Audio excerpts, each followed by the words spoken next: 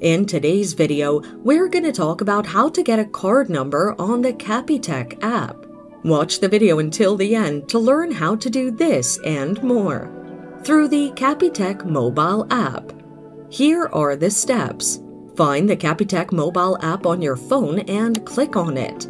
If you do not have the app on your phone, you can download it from the Google Play Store for Android, the App Store for iOS, or the Huawei App Gallery for Huawei phones. Next, sign into your account using your account number and remote PIN. Click on the cards icon at the bottom of the Capitec app homepage. Click the Show Card Details button below your card's picture. The button is blue you'll be prompted to enter your app PIN. Enter your valid PIN. Next, tap on the image of your card. The card will flip over to the back view, which has the card number.